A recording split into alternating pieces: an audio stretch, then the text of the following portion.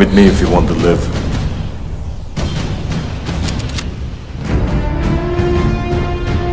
We need to send a message.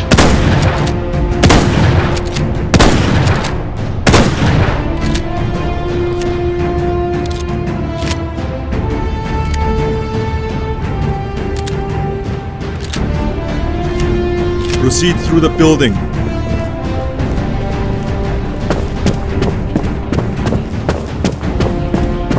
Hasta la vista, baby.